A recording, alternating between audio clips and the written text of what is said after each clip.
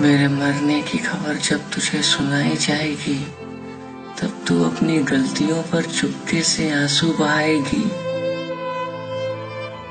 अनजान बनकर पूछेगी, जो मर गया वो कौन था?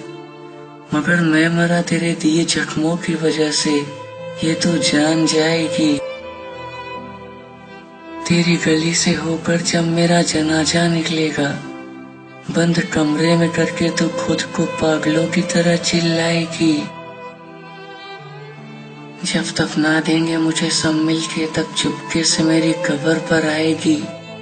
दिल करेगा तेरा रोने को, मगर कभी ना रोएगी मेरी इस कसम की वजह से तू ज़बरदस्ती मुस्कुराएगी।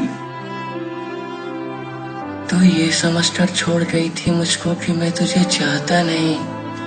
मैं किस हद तक तुझसे मोहब्बत करता था? मेरे बाद ये बात तुझे समझ आएगी। इस कदर से जख्मी कर जाऊँगा मैं रूह को तेरी।